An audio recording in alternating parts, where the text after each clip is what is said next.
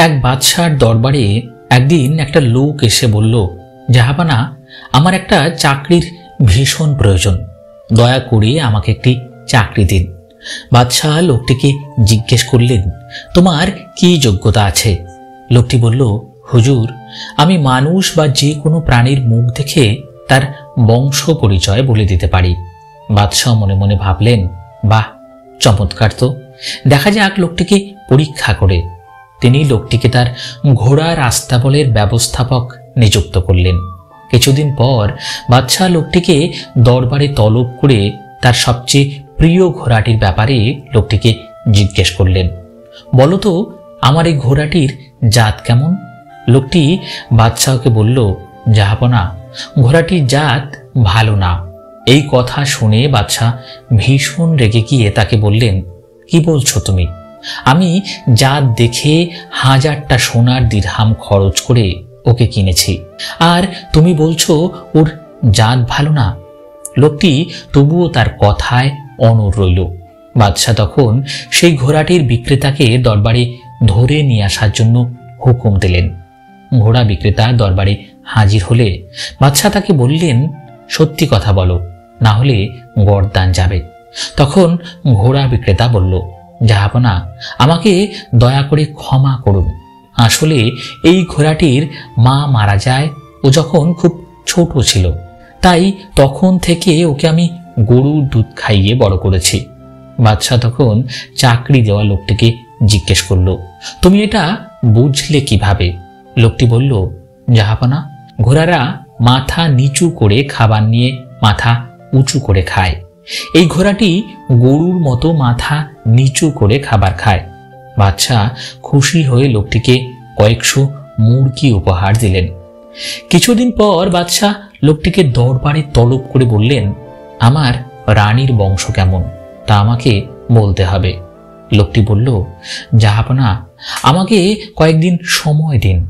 কয়েকদিন পর লোকটা এসে বাদশাহের দরবারে উপস্থিত হয়ে বলল, জাহাপনা রানিমার বংশের ব্যাপারে কিছু বলার আগে আমাকে কথা দিতে হবে। আমার উপর রাগ করে কোনো সিদ্ধান্ত নেবেন না। আগে যাচাই বাছাই করবেন। বাদশাহ বললেন, বেশ, তাই হবে। লোকটি বলল, রানিমা কোনো রাজবংশের মেয়ে না। তিনি এক সাধারণ পরিবারের মেয়ে। বাদশাহ এবার সত্যি সত্যি রেগে গেলেন। নিজে দেখে শুনে পিতামাতার পছন্দসই অন্য রাজ্য বাদশাহের মেয়ে বিয়ে করেছেন। আর বেটা বলে কিনা তিনি রাজবংশের মেয়ে না। যাই হোক, বাদশাহ কথা দিয়েছেন। আগে যাচাই বাছাই করবেন। অতএব বাদশাহ তার শাশুড়িকে চেপে ধরলেন সত্যি বলার জন্য।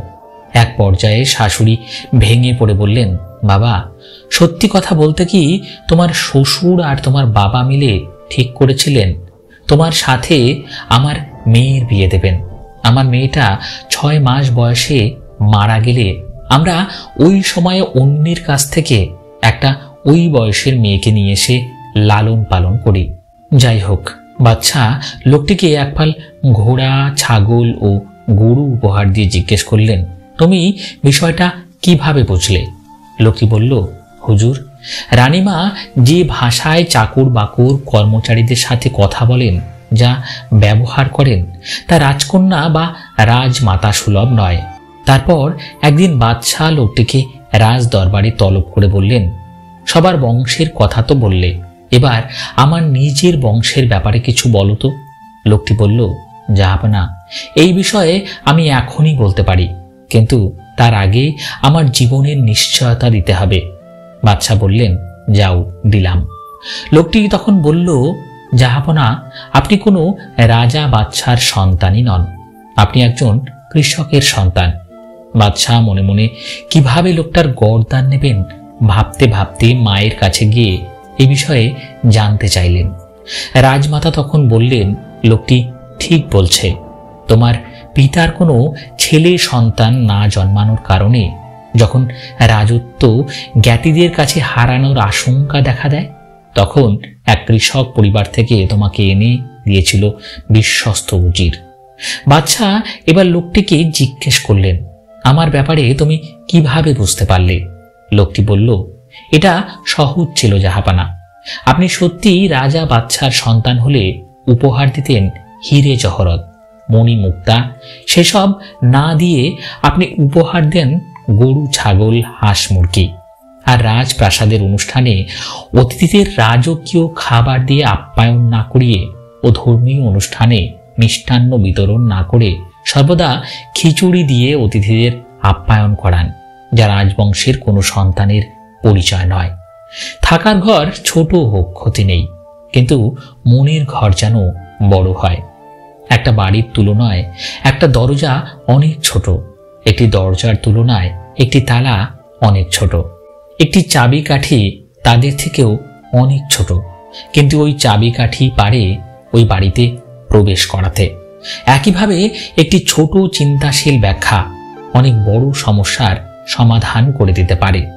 স্ত্রীকে তুই করে ডাকলে কি ক্ষতি হয়? দেখুন, আপনার স্ত্রী হোক বা যে কোনো মেয়েই হোক, মেয়েরা অনুকরণ প্রিয় হয়। আপনি যদি তাকে তুই বলে বলেন, সে সাহস পাবে আপনাকেও তুই বলার। যা যে কোনো ছেলের পক্ষেই সহ্য করা কঠিন। একটা মেয়ের কাছে সবথেকে সম্মানিত ব্যক্তি তার স্বামী। তাই এমনি সময় তুমি বলুন, আর রাগ উঠলে আপনি বলুন, ভুলেও তুই বলবেন না।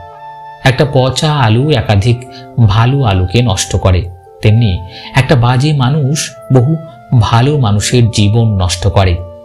মিডল ক্লাস জীবনটাই অদ্ভুত জীবন। জামা কিনলে জুতো ছিঁড়ে যায়, আর জুতো কিনলে প্যান্ট ছিঁড়ে যায়। প্যান্ট কিনলে আন্ডারওয়্যার আর যখন সব কেনা হয় তখন পকেট ফেটে যায়। কাউকে সত্যি ভালোবাসলে প্রচুর বেহায়া হতে হয়, কথাটা তেতো হলেও সত্যি। মুখের ভাষা বলে দেয় মানুষটি কেমন, অহংকার বলে দেয় টাকা কত আছে, স্বপ্ন বলে দেয় ভবিষ্যৎ কেমন, স্পর্শ বলে দেয় স্বভাব কেমন তর্ক বলে দেয় জ্ঞান কতটা, সংস্কার বলে দেয় পরিবার কেমন, পছন্দ বলে দেয় ভাবনা চিন্তা কেমন। আগে ভয় পেতাম একাকিত্বের, এখন ভয় পাই ভুল মানুষের সঙ্গের। খারাপ সময়টা থাকবে না, হয়তো দ্রুত কেটে যাবে, এরই মাঝে প্রিয় কিছু মানুষ চেনা হবে। জীবনে টাকা ইনকাম করো আর নাই করো নিজের প্রতি সৎ থাকো। এতে তোমার কুড়ো ঘরেও শান্তির ঘুম হবে। যারা স্বার্থের বিনিময়ে সম্পর্ক রাখে, তারা আকাশের মতো যে কোনো সময় রং বদলাতে পারে। আর যারা কোনো বিনিময় ছাড়া সম্পর্ক রাখে, তারা বৃক্ষের মতো সবসময় ছায়া দিয়ে যায়। আজকের ভিডিওটি এই পর্যন্তই বন্ধুরা। ভালো লাগলে প্লিজ একটি লাইক করবেন। কারণ আপনার করা একটি লাইক আমাকে পরবর্তী ভিডিও বানাতে উৎসাহ যোগায়। ধন্যবাদ।